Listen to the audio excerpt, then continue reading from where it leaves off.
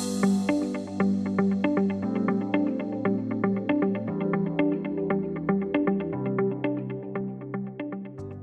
morning, everyone.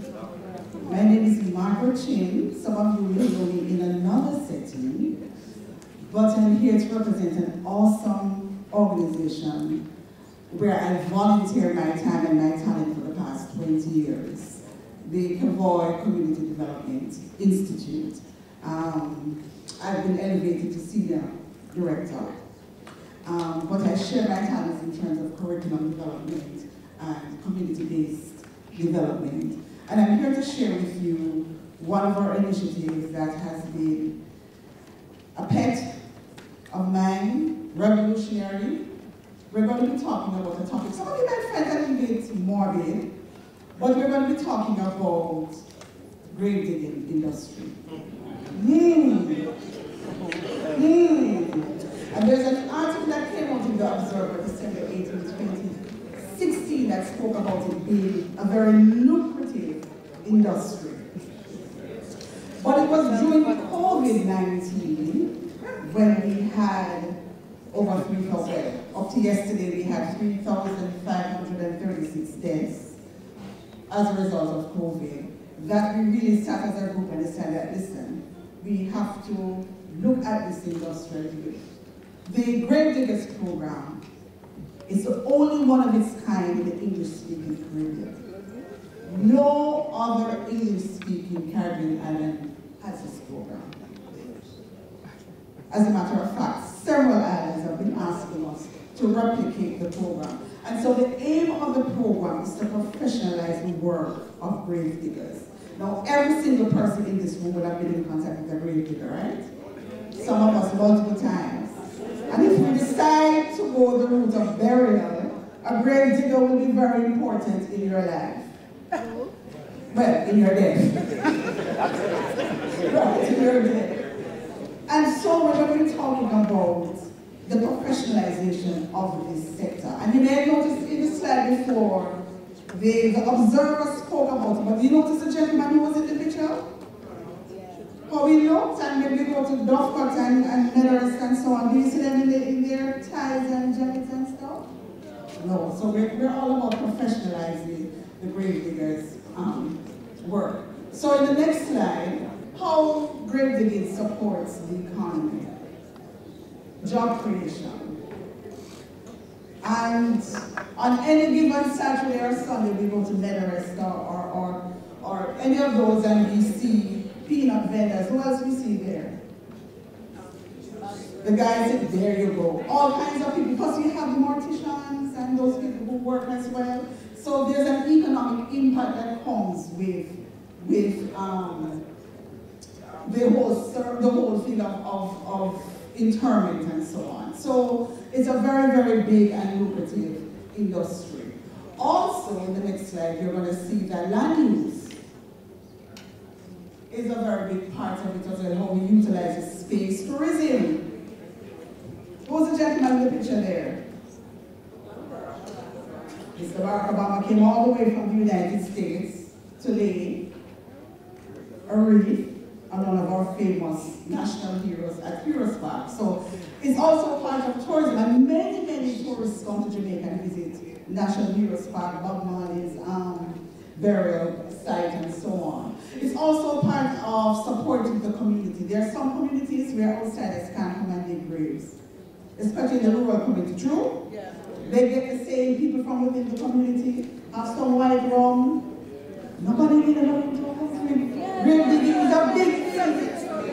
Grave digging is a big deal. And so, but it also brings the community together. So you get that community support by the local people who are there. The impact of COVID-19, of course, unfortunately led to, as I said, over 3,500 deaths. And so, out of that experience, I also lost my brother during the COVID pandemic. Um, we saw the concern in terms of, yes, the grave diggers are working more because there's more work there for them, but how can we professionalize um, this particular group of um, these, these, these people? And so there was increased demand. We had the issue of, of safety as well, and I don't know how many of you during COVID had a chance to probably experience some of that because we had the social distancing, but many of them still were not adhering to some of the safety concerns that came out of, of COVID. Other impacts of COVID-19, if you go into the next slide, new policies and protocols also change the face of, of internment in Jamaica with new regulations and so on. Financial strain, um, and coming out of that, the industry realized that the way we approach the service had to change because it's no longer people gathering around a grave. Remember COVID? It's now people watching remotely. And so the type of grieving that went with death actually took on a different phase. You're not able to see the person anymore and, and, and go up to a casket and look at them and so on. You're watching it through a screen.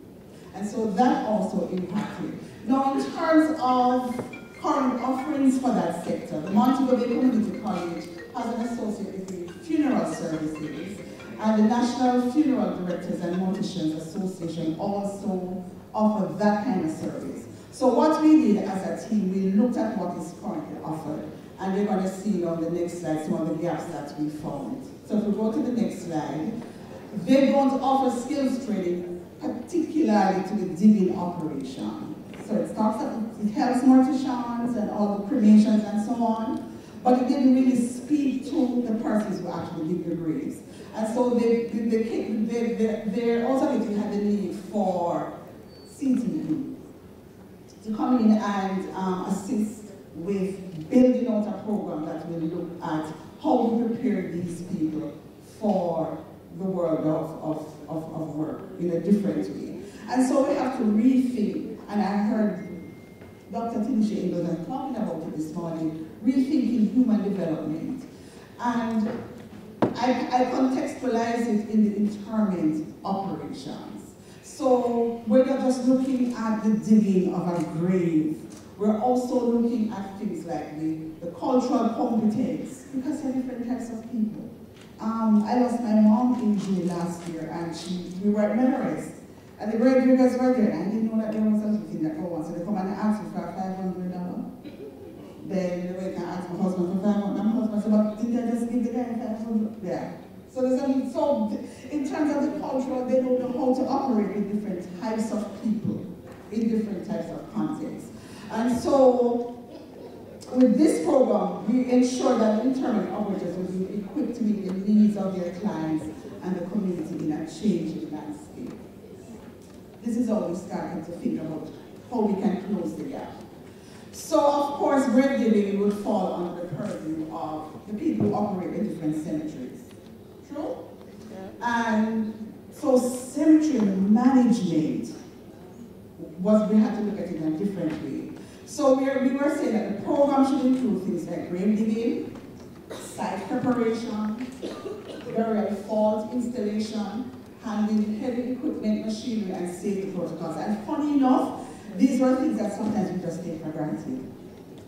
That the people who are doing it already have these skills. Yes, they do out of maybe practice and so on, but we want to look at it from a different perspective. So our grave digging training as part of a comprehensive cemetery management program was, the aim was to address gaps in sustainable practices, technology adoption, safety protocols, improve communication, customer service. So those are the areas that we focused on. So we looked at sustainability. How can we incorporate environmentally conscious practices? How do we reduce waste, composting, um, natural burial practices? We also looked at the technology. How can we use GPS? How can we use GPS in terms of precise measurements of, of walls and so on? Heavy equipment for digging and filling the graves, software management and so on. Safety training. And I must thank my executive chairman. I didn't know that there was a particular technique to dig in. Did you guys know? That digging actually had a particular technique. I didn't know that. Um, evacuation equipment operations and of course protecting equipment. So in our program we found, and I'm glad all of the presenters have been speaking about this so far. The importance of soft skills training. The importance of soft skills. So grave digging operations require employees with strong soft skills because this is a time of extreme grief for the people who they're going to be interacting with. And so their communication skills. So when, I, when, when, when we went to the gravesite for my mom in last June, oh, the lady that, oh, the lady that, for the, for the, for the, come on, big up, big up, right, big up, big up, big up. So the communication skills, problem solving skills, critical thinking skills, and of course these can be developed through our program. Continuing education. So grave digging operations should be supported using continuing education and training for its employees for them to stay up to date with the industry trends. And so this is where I am really, really, really, really grateful to HeartTrust, NT, NCTV for taking on, believing in this program and designing the standards. So um, we have what is called the NVQJ Level 2 in Operations. So in this program, it allows recognition of job currently um, being performed to be recognized by the industry. Um, also aids decision makers in formalizing the whole practice of cemetery operation. And these are just the qualification description. It doesn't require any five CXCs and CAPE and so on.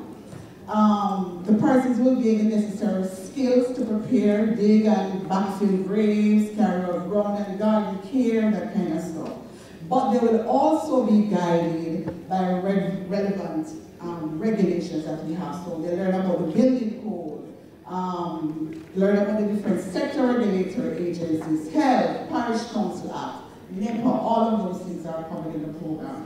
So after they have successfully completed the program, they'll be awarded a certificate. And we know that our certificate is renewed around the Caribbean. So these are the clusters of courses that are done, maintain grounds and structures, garden and landscape, degrade manually and with machines, construct and finish vaults, operate and maintain vehicle and equipment, develop digital literacy skills, um, basic professional and business skills to learn about um, emotional intelligence, that kind of stuff, communicate effectively and efficiently in the workplace, and of course, we have an elective, develop personal life skills in the workplace. So the total credits for this particular program would be 89.